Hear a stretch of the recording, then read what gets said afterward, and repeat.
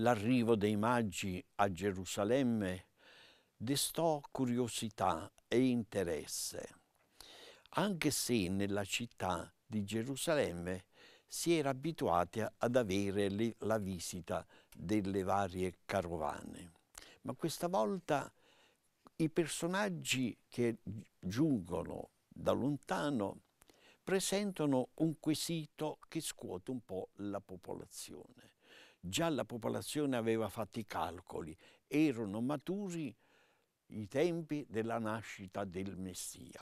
I maggi giungono a Gerusalemme e chiedono dov'è, dove è nato il re dei giudei, quindi il Messia. E quindi ci, su, ci fu un trambusto perché corrispondevano alle settimane della nascita del Messia e quindi il re Erode esorta i magi di andare a Betlemme e fargli sapere dove si trovava il Messia, non per adorarlo come lui affermava, ma per sbarazzarsi di un altro pretendente al trono. Bene, i magi ripartono e giungono a Betlemme e lì trovano il, il nato Messia. A questo punto però c'è un, un tato fastidioso. L'angelo in sogno dice a Giuseppe di prendere il bambino e andare via, correre in Egitto per salvare il bambino da Erode. Qui noi ci mettiamo gli interrogativi che certamente si sono messi Maria e Giuseppe. Ma se il bambino che teniamo noi tra le braccia è il figlio di Dio ed è Dio, perché non ci sono altri mezzi per salvarsi. C'è proprio bisogno che noi arriviamo in Egitto per salvare il figlio. Noi, persone umane, senza conoscere la lingua, senza avere possibilità di impiego, di lavoro, eccetera. Come facciamo? E qui scatta la fede di Maria e Giuseppe. L'angelo ha parlato in nome di Dio e noi eseguiremo i suoi desideri. E raccolgono quei quattro cenci e partono per l'Egitto. A questo punto la vita dell'Egitto non ci viene raccontata dalla Sacra Scrittura. Certamente creò una difficoltà enorme a Maria e a Giuseppe in un mondo straniero, senza la lingua, senza lavoro, senza avere un cespite per passare la vita quotidiana. Come risolvono Maria e Giuseppe questa crisi terribile? Con la fede in Dio Padre.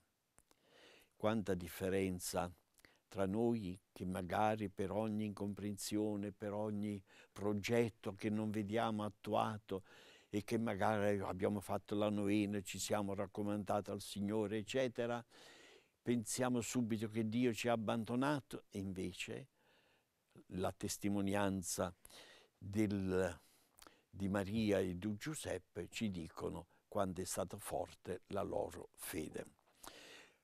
Padre Pio ha vissuto anche lui in un certo qual senso questa crisi della partenza dopo la sommossa del popolo, le incomprensioni con la Santa Sede, eccetera, Padre Pio viene trasferito da San Giovanni Rotondo e viene assegnato al convento di Cingoli nelle Marche.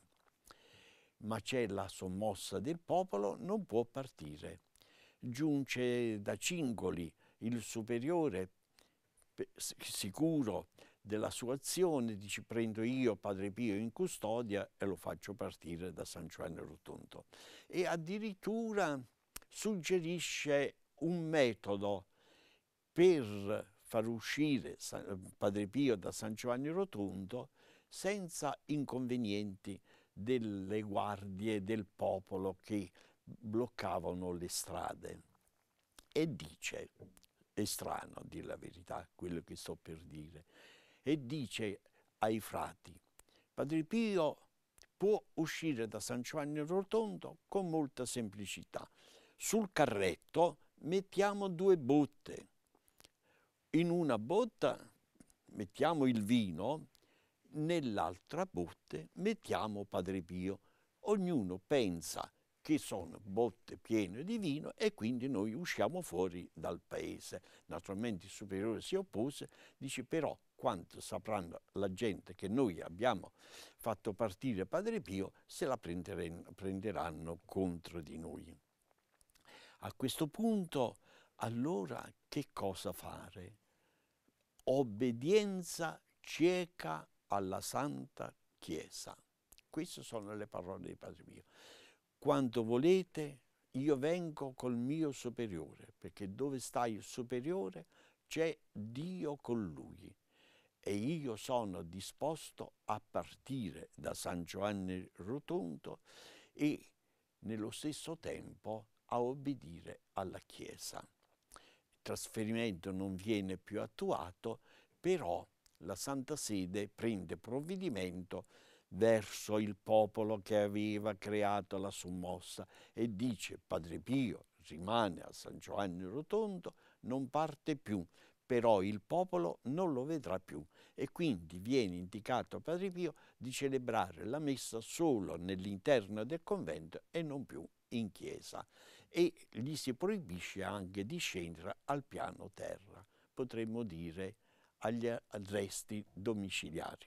Ma Padre Pio ha obbedito alla Chiesa.